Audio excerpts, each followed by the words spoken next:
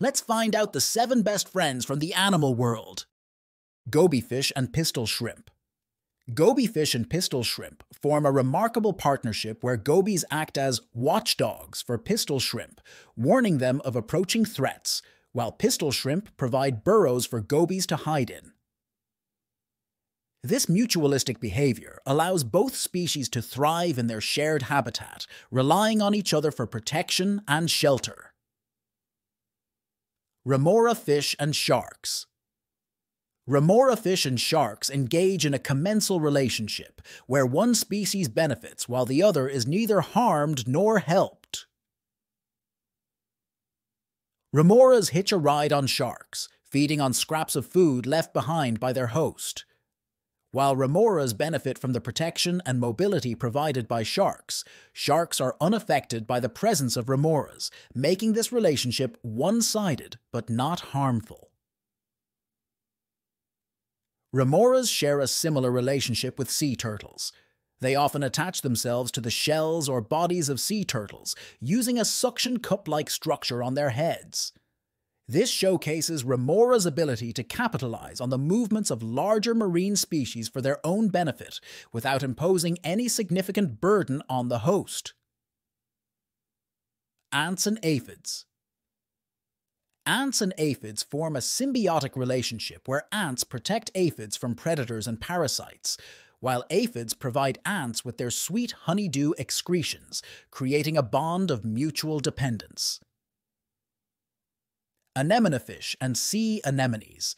The relationship between anemone fish and sea anemones is a classic example of mutual symbiosis. Anemone fish seek refuge within the tentacles of sea anemones, which provide protection from predators due to their stinging cells. In return, anemone fish defend the sea anemones from intruders, while also providing nutrients to anemones through its waste. In addition, they also help circulate water around sea anemones, aiding in their respiration and nutrient uptake. Fun fact Anemone fish are also commonly known as clownfish due to their vibrant colors and playful behavior, which resemble the appearance and antics of clowns. And yes, Nemo from the movie Finding Nemo is an anemone fish. Zebra and wildebeest. Zebras and wildebeests often form mixed herds for protection against predators, displaying a bond of mutualistic cooperation where each species benefits from increased vigilance and shared resources. This cooperative behavior enhances the survival chances of both species in the challenging and competitive savanna environment. Oxpecker birds and their herbivorous hosts. Oxpecker birds and their herbivorous hosts, such as rhinos and buffalo, share a unique relationship.